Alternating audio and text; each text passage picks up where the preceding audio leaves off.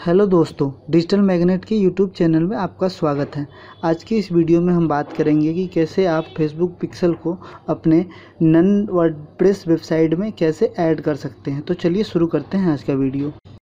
जैसा कि हमने आपको पहले बता रखा है कि आप कैसे फेसबुक पिक्सल कोड को क्रिएट कर सकते हैं। अब हम आपको बताने जा रहे हैं कि कैसे आप अपने फेसबुक पिक्सल कोड को अपने वेबसाइट में ऐड कर सकते हैं। इसके लिए आप चाहे तो फेसबुक हेल्पर की मदद भी ले सकते हैं। हमने डिस्क्रिप्शन में फेसबुक हेल्पर पेज का लिंक मेंशन कर रखा है। आपको फेसबुक पिक्सल कोड को अपने वेबसाइट के हेडर पेज में ऐड करना है ताकि यह पूरे वेबसाइट में एप्लीकेबल हो सके।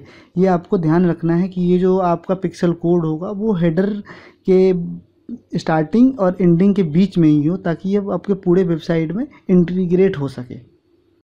जैसा कि हमारा फेसबुक पिक्सल कोड पहले से ही क्रिएट हो रखा है तो उसके लिए अब हम सबसे पहले अपने फेसबुक एड मैनेजर पे जाएँगे। उसके बाद वहाँ पे आपको एक एक्शन का बटन दिखेगा, उस पर क्लिक करने के बाद आपको वहाँ पे व्यू पिक्सल कोड करके एक टैब दिखेगा, उस पर आपको क्लिक करना है और ये जो पिक्सल कोड है, उसको कॉपी कर लेना है। अब आपको अपने वेबसाइट के एफटीपी में लॉगिन करना है और उसके बाद वहाँ पे आपको, आपकी वेबसाइट का जो हेडर पेज होगा, उसको ओपन करना है और उसमें आपको हेडर हेड टैग जो हेड टैग होता है वेबसाइट का, उसको फाइंड आउट करना है और आपको ये ध्यान रखना है कि आपका ये, जो ये पिक्सल कोड है, वो हेड टैग के स्टार्टिंग और एंडिंग ब्रैकेट के बीच में ही होना चाहिए। क्योंकि ये जो फेसबुक पिक्सल होता है, ये इम्पोर्टेंट होता है कि वो हेड टैग के अंदर ही हो। हेड टैग के अंदर अपने कोड को पेस्ट करने के बाद उस पेज को सेव कर लेना है। इस तरह से आप अपने फेसबुक पिक्सल कोड को अपने वेबसाइट के साथ इंटीग्रेट कर सकते हैं।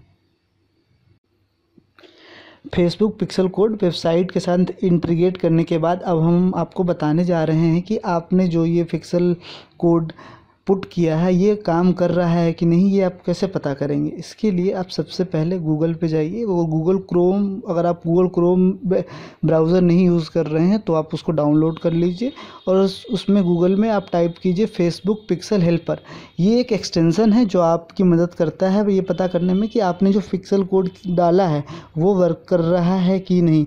तो आप जैसे ही गूगल पे ये गूगल पे ये टाइप करोगे फेसबुक पिक्सल हेल्पर तो आपके सामने बहुत सारे ऑप्शन आएँगे। उसमें सबसे पहले एक एक्सटेंसन का ऑप्शन होगा फेसबुक पिक्सल हेल्पर आपको ये एक्सटेंसन अपने ब्राउज़र में ऐड कर लेना है। इस एक्सटेंसन को अपने ब्राउज़र में इंस्टॉल करने के बाद अब हम हम अपने वेबसाइट को ओपन करेंगे।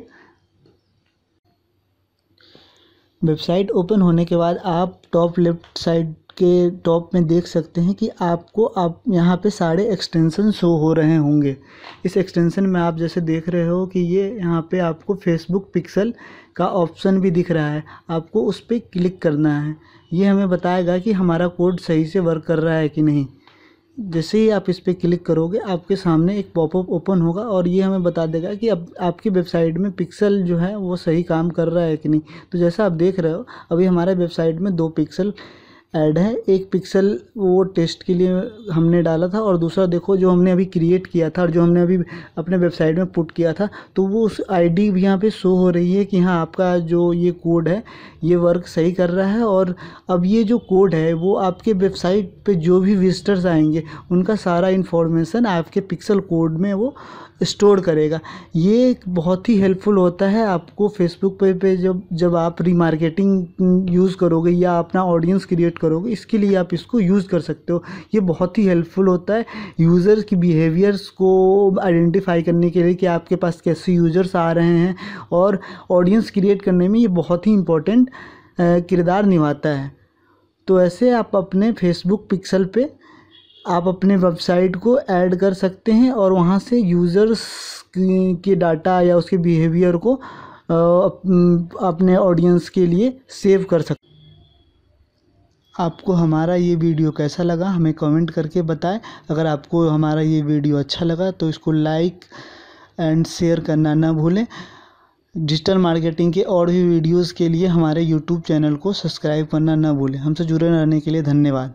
Thank you